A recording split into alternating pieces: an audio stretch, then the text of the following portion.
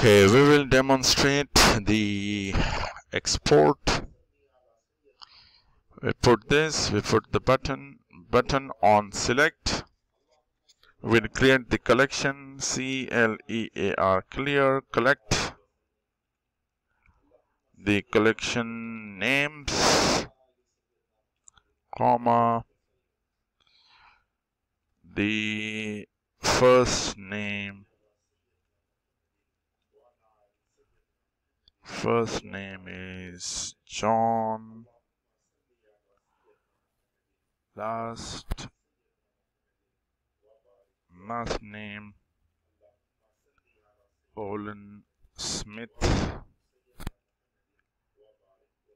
Oh I misspelled him. The second one is first name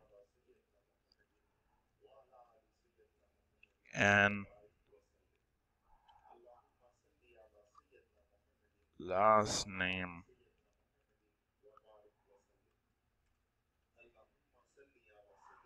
Mackenzie.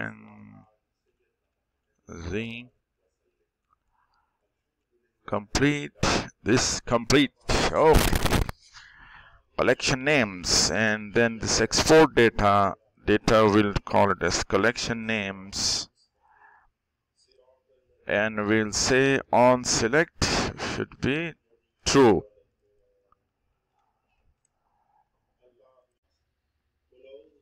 So we run this button export and we see the file here.